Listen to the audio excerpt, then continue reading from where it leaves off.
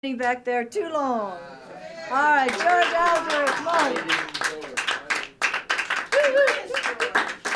Man, I like it when you run. This is good. Okay, we're getting down to the last just few. Okay, they're all good. On food, whoa! food is one of those things that you think at my age I'd have a real grasp of. I'm learning how to cook at my age.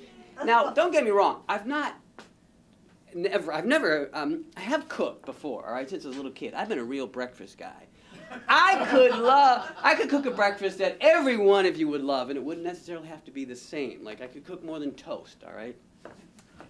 But really, I haven't learned about how to cook an actual substantial meal until recent years. I don't know why. I just, well, actually, one of my, a very good buddy of mine is a chef, so I've been learning some things through him.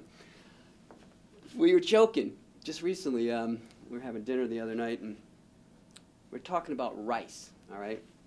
And to me, they were asking, what kind of rice do you cook? And I said, I'd never spoken this word out loud, and I felt proud.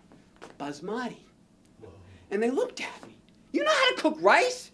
And I felt, whoa, now do I really, uh, do I really know how to cook rice, all right? And I said, yes, I've eaten it. And the funny thing was, they know me so well, they just couldn't believe I can cook my own rice. Now they're challenging me. Well, how much water do you use? You know?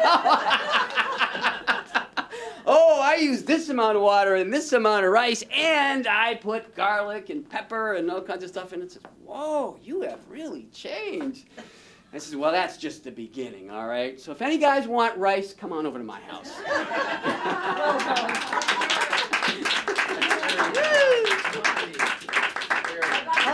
Oh, the things I'm learning about all of you today.